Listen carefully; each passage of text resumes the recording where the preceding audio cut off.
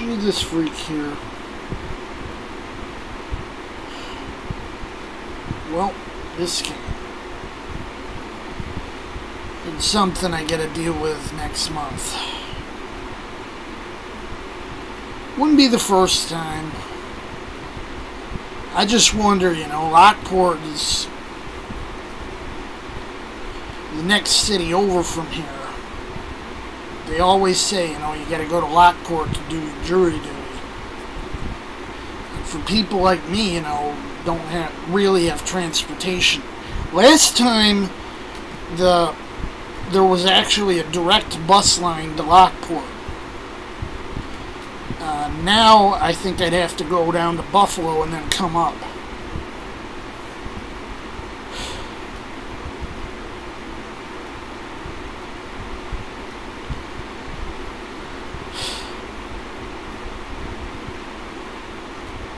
Eh, stuff happens.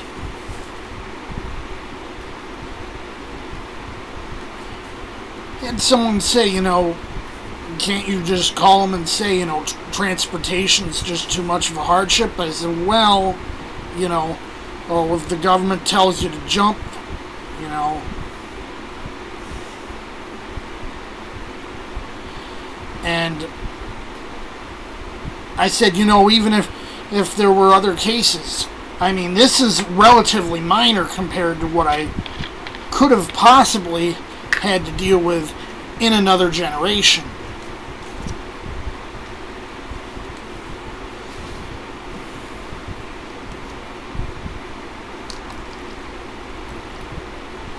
I was lucky the first time.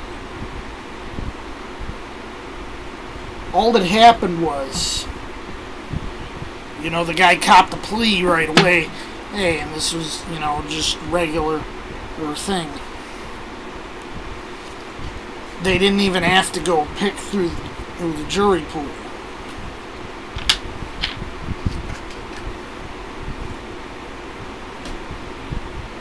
I don't know if it'd be that lucky this time.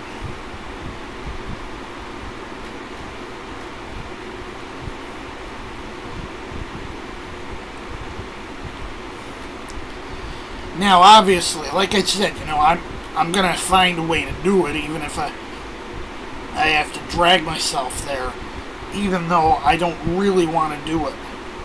And some people are claiming, yeah, I could probably get out of it. I'm like, well, you know.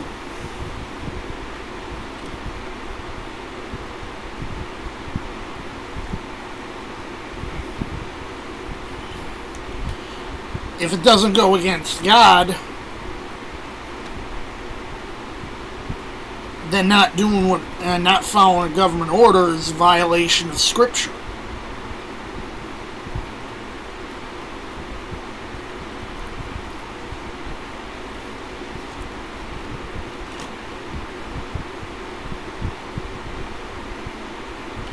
So, trying to get out of it because transportation is difficult It's not an option.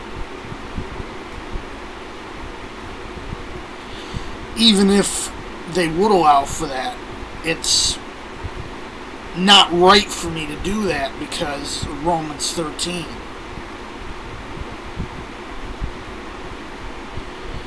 Anyway, I've got till the September 2nd to figure this out. It's no big deal.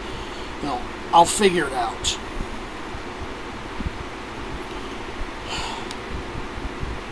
It's just, you know, another millstone hanging over my head. Till then. Jesus freak out.